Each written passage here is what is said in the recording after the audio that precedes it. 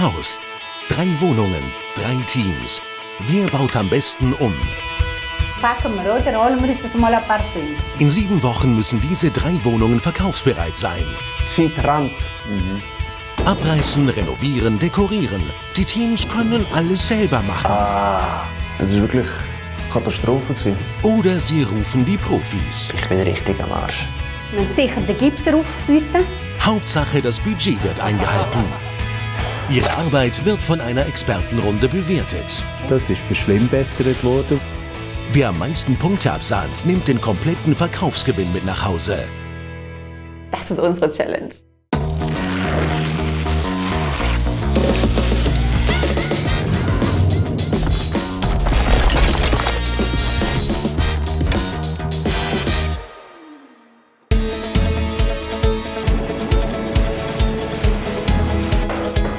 Teams haben ihre Jokerzimmer fertiggestellt. Romy und Marco haben sich für ein Homeoffice entschieden. Bei Jolenka und Andreas gab's ein Gästezimmer. Und bei Alla und Lirim Wir machen ein wunderschönes Kinderzimmer. Es wäre noch schön gewesen, jetzt überall die Schrauben rein tun. Doch wem geben die Expertin und die Experten ihren Punkt? Ich weiss, wem ich den Punkt gebe. Ich Sehr habe mein Urteil abgemacht. Super. Dann gehen let's wir es machen. Der große Moment ist gekommen. Welches Team bekommt die Punkte für das Jokerzimmer? Hallo miteinander, schön sind ihr wieder alle da. Fünf Tage später und die Jokerzimmer sind allesamt fertiggestellt worden. Herzliche Gratulation, ihr wisst, was das heißt, nämlich, dass alle Teams von mir einen Punkt kriegen. Gut gemacht. Danke. Das auch gut gemacht und euch nochmal gut gemacht. Effizient habt ihr geschafft und jetzt wollen wir aber auch noch wissen, wer von euch die Punkte kriegt. Jeder und jede von unseren Experten darf jeweils einem Team einen Punkt geben. Kurt, wer kriegt diese Woche deinen Punkt? Es ist mir sehr schwer gefallen und ist sehr knapp gewesen. Aber diese Woche geht mein Punkt das Team Lirim und alle. Danke dir. Die Punkte heimgeholt. Kathrin, wem gibst du deinen Punkt? Mein Punkt geht diese Woche an die Wohnung, die die Kritik entsprechend umgesetzt haben und auch die Details wirklich sauber ausgeführt haben. Und darum geht mein Punkt diese Woche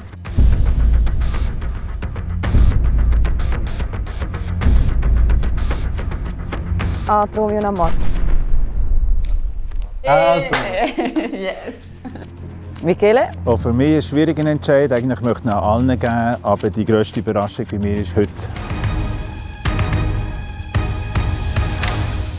beim Alain und beim Liri. Zum Team Rot haben wir schaurig aufgeholt und das macht natürlich mega Freude.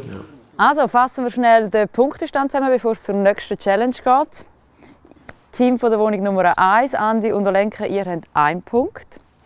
Von der Wohnung Nummer 2, Romy und Marco, ihr habt insgesamt bereits fünf Punkte. Herzliche Gratulation und sind somit führend. Aufgeholt mächtig seit letzter Woche hat das Team Nummer 3, Ale und Lirim. Ihr habt jetzt insgesamt nämlich vier Punkte. Das war jetzt zu wenig. gewesen. Das heisst, nächstes Mal müssen wir mehr geben. Ja, und ein bisschen mehr von uns selber in- reinbringen. Gut, und somit sind wir bereit, um in die nächste Challenge zu starten. Ihr wisst, wie es abläuft. Ihr habt fünf Tage Zeit und dann muss diese Woche das Badzimmer fertiggestellt werden. Ich freue mich schon auf das Resultat und wir sehen uns dann in fünf Tagen wieder. Bis dann, tschüss zusammen. Das ist unsere Challenge. Sehen wir dann noch. In nur fünf Tagen müssen die Teams die Badezimmer fertigstellen. Da gibt es ganz schön viel zu tun. Eine ausgeprägte Vorstellungskraft ist die Quelle für kreatives Denken. Nicht wahr, Alla? Siehst du es, Lirim? Ja, Wie schön das wird. das wird sehr schön. Du musst schon drinstehen, wie schon um, umgebaut wird. Was wir schon mal können verraten wir werden wie bei allen anderen Zimmern modern, äh, auf die moderne Art und. Weise und äh, das Badzimmer gestalten, jawohl. Mit ein paar Futures, die wir noch nicht verraten, aber äh, ja, ziemlich modern, hell, einfach. Wir haben einfach ein bisschen das Bad angeschaut, wie es eingeteilt ist und es ist sehr klein. Und dann habe ich zu der Olenka gesagt, da verklemmt es dich auf die Scheisse wenn du da hockst. Anhocken kannst du, aber aufstehen wahrscheinlich nicht mehr. die Blättchen gehen ja so um. Also muss die Wand muss er äh, wieder Grundputz drauf tun und Abrieb machen. Das Okay. muss noch Haufen gemacht sein. Ja, ein bisschen etwas müssen wir schon noch. Ja, dann müssen wir die noch organisieren, damit wir sie haben. Möglichst klein. Ja, ja, das mache ich jetzt gerade als nächstes. Für Olenka und Andreas ist der Fall also klar. Sie werden sich professionelle Hilfe holen. Ja, ja, das kommt gut, das schaffen wir jetzt. Die Challenge packen wir, oder? Holen wir uns das mal ein paar Punkte. Ja, es wird jetzt schon. Ja, müssen, müssen, das bleibt uns nicht anders übrig. Romy und Marco sind inzwischen schon bei der Ausrichtung der Platten. Also ich würde die Platte gerade so, dann bringen wir da drei Platten rein. Ja, Und da eine Fuge, das spielt keine Rolle, weil, weil das WC kommt eh bis da vorne, dann siehst du das nachher nicht und das Möbel auch. Und so macht es, wie sagst du? Und längs würdest du nicht sagen. Längs. Nein. Ja, es macht Sinn, einfach die so quer. Dann haben wir da die Fuge, da ist schön gleichmäßig. Da können wir ja immer noch schauen, ob wir Platten dann schneiden, Mm. so machen. Dass wir da vier Platten haben, oder? Je länger das es wird, desto besser fließt das Wasser auch ab. Die Dusche ist so klein, Ja. wir wollen grosse, helle Platten. Ja, das dass wenn du der- reinkommst, dass, es, dass der Raum, wie sagst du, ja, das, Das ist einfach grösser. optisch vergrößert, dass Genau. es heller und freundlicher wirkt. Höchste Zeit, die Pläne in die Tat umzusetzen. Hallo, was bist du machen? Was ich machen kann, soll ich dir das wirklich erzählen? Erzähl. Wir werden das einzige Team sein, das so ein geiles Detail reinbringt. Wir haben hier eine Nische, was sicherlich niemand anders hat. Und noch, wir spitzen das Ganze auf, damit wir auch noch das Lichtchen da reinbringen können. Von dem her spitzen wir jetzt 10 cm da raus. Dafür holen wir die Punkte. Yes!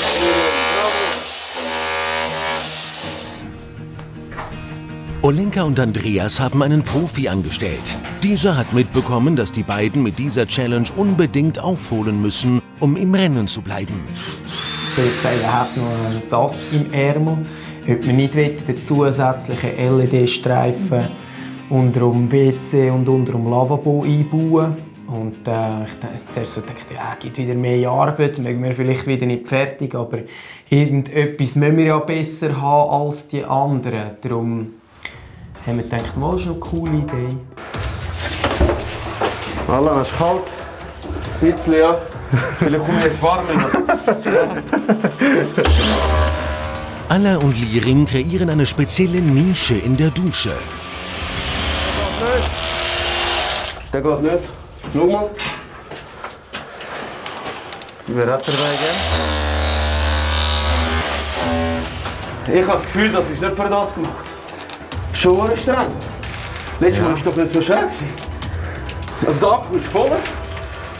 Keine Ahnung.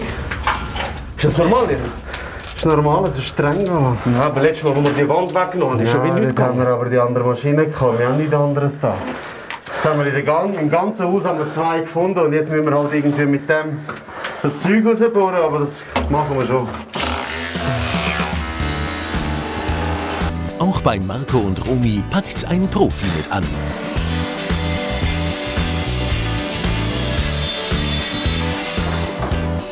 Wir haben es sehr gerne selber gemacht, aber aus zeitlichen Gründen war es nicht machbar. Gewesen. Und zweitens ist ja, die Garantie muss ja auch noch geben, dass es dicht Ja. ist und und und. Auf dem haben wir uns entschieden, wir geben die Arbeit ab, zu einem Profi kommen und das perfekt machen.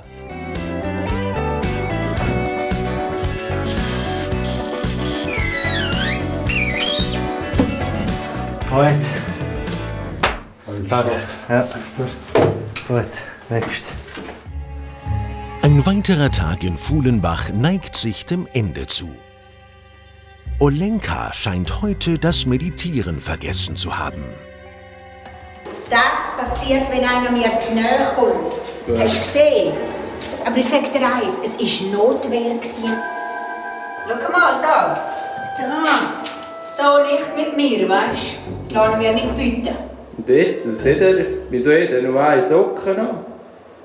Keine Ahnung, da musst du den anderen fragen. Welcher Raum dort? Tag 3 in Fuhlenbach. Am frühen Morgen hat sich ein Kandidat aus dem Haus geschlichen. Es ist Marco. Was der Bündner hier wohl ausgeheckt hat?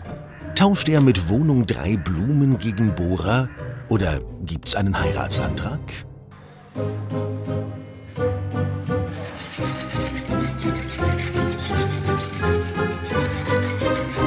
Happy Birthday to you. Happy Birthday to you. Auf einmal so drehe ich mich rum, dann kam er dann mit dem Kuchen und Blumen. Ich war so, okay, wow. cool, nee, mega schön. Dankeschön, Dankeschön. Am besten tun wir jetzt alle zusammen trommeln, dann können wir noch mal singen. Nein, ist gut. Ja, dann genießen wir deinen Tag. ja. Nicht so streng heute. Ja, ist gut. Dankeschön. Vom Geburtstag in Wohnung 2 zu einem weiteren Pechtag in Wohnung 1. Andreas muss den frisch gemachten Gefäßüberzug rausnehmen. Was ist denn da passiert? Zuerst ist der Gipser gekommen und hat den Gefällsüberzug dann noch fertig gemacht und nachher ist der andere Plättchenleger gekommen und hat gesagt, darüber tagen nicht plätteln, weil der Gefällsüberzug in zwei Etappen gemacht wurde. Das habe ich nicht. Ähm, man sieht hier den Unterschied und darum muss es jetzt wieder raus.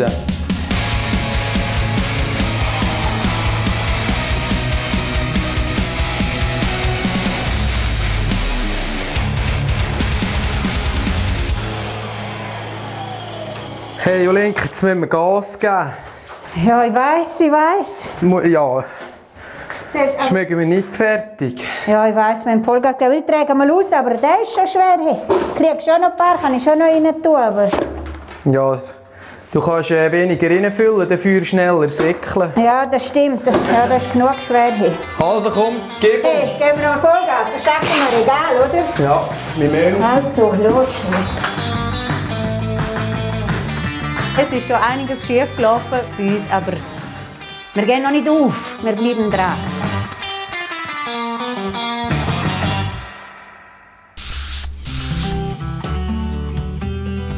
Die Halbzeit ist erreicht. Heute gibt es von Expertin Katrin Bachmann eine Zwischenkontrolle.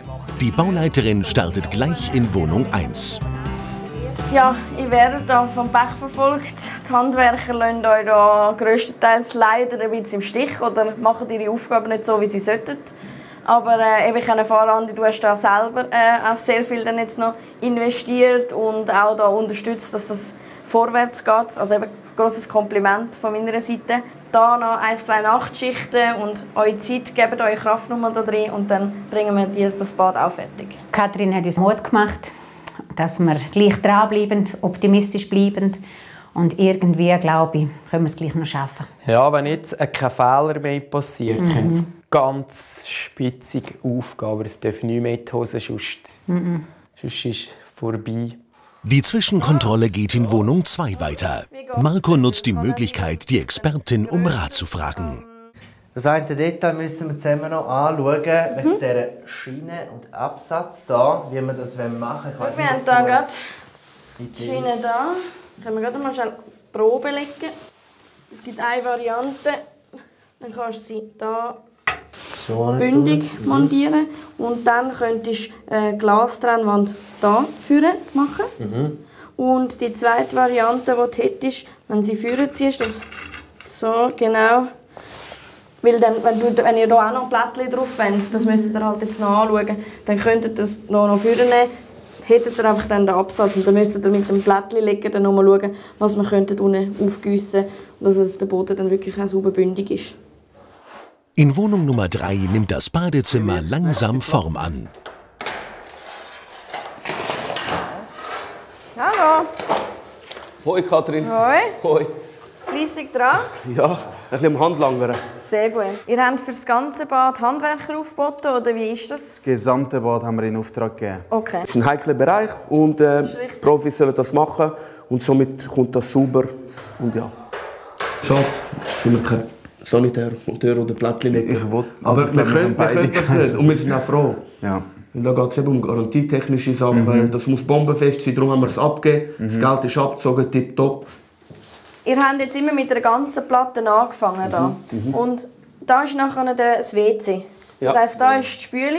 Mhm. Und jetzt ist genau die Fuge nebendran. Und normalerweise, wenn man vielleicht eine kleine Einteilung macht von der Fuge, dann ist zum Beispiel irgendwie vielleicht auf eine Achse geht man, oder man tut es einmitten. Kannst du mir schnell sagen, wie, wie es soll gemacht werden soll? Dann gebe ich das weiter und dann reißt das alles raus. Ihr müsst das selber über- müsst vielleicht ein überlegen, wie es aufgeht mit der Einteilung. Wir müssen vielleicht mal die Länge messen Ich, ja. und dann mal schnell die Platte messen. Ich finde das jetzt nicht so störend. Ich finde das sogar von der Optik her eigentlich fast schöner, dass man es so hat. Weil sonst hätte ich eigentlich den, im, auf der anderen Seite den Bereich mit den Plättchen. Kleiner Tipp von mir. Ja. Ihr euch überlegen. Dankeschön. Und jetzt... Äh, Ja, jetzt alles raus in dem Fall. hä? Nein, ganz Das und gar nicht. könnt ihr noch entscheiden. Nein, spinnst du eigentlich? Also ich lasse euch diskutieren. nein. Danke Tschüss vielmals. Katrin. Tschüss. Ciao, ciao. Das muss rauslernen. Nein, das muss sicherlich nicht rauslassen. Definitiv nicht. Ich glaube, wir haben uns dann entschieden, wir machen einfach weiter, so wie es ist. Ja, machen das Beste Und, und äh, probieren gleich ja. noch zu punkten, oder? Katrin haben wir schon verloren, habe ich dann gedacht. Ja, ganz also, klar. kann- Ja, Alles in allem sind sie sehr gut unterwegs, mit Ausnahme vom Team 1. Die müssen wirklich noch ein, zwei Nachtschichten einlegen und dann bin ich da sehr optimistisch, dass die drei die Challenge werden schaffen. Für Olenka und Andreas sind weitere Nachtschichten also vorprogrammiert. Doch sie sind nicht die einzigen. Hey meine lieben Leute, ich hoffe es geht euch allen gut. Team 3 ist ein bisschen spazieren gegangen, frische Luft schnappen. Und äh, Ja, es gibt jetzt noch einen Abendlauf. Nochmal Energie tanken, frische Luft schnappen. genau, Und weiter geht's. dass wir äh, sauber und zeitlich abliefern können. Ja. Wir freuen uns, euch das zu präsentieren, gell, Lirim?